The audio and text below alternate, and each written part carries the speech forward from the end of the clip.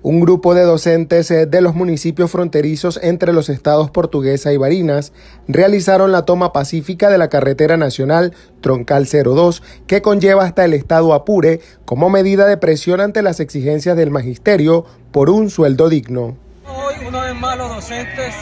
unidos de Alberto Arbelo Torrealba Sabaneta,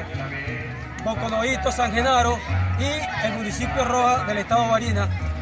tomando la local 2 de la carretera que conduce Sabaneta El Orza.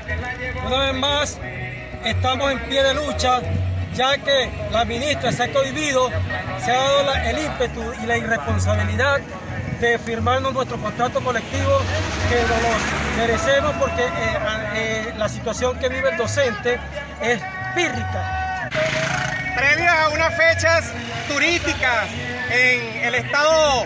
Marinas, en Portuguesa, en Apure, a nivel nacional, como son las fiestas del Orza, el magisterio no puede recrearse, el magisterio no puede hacer esparcimiento, dado que no contamos con un salario digno ajustado a la canasta básica, que tiene que tener recreación, alimentación, vestimenta y calzado. La ministra se ha dado el tupé de decir que no va a firmar el contrato colectivo y en representación del municipio de Sagrada de Boconoito, SINADEP del Estado portuguesa, nosotros rechazamos contundentemente estas declaraciones y le exigimos a la ciudadana ministra de Educación a que de una vez por todas firme el contrato colectivo de una manera justa y notoria y que realmente se reivindique el magisterio venezolano.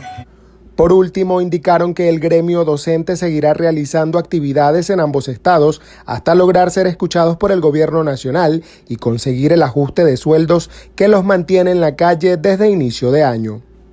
Para Telenoticias Portuguesa reportó Emmanuel Sereno.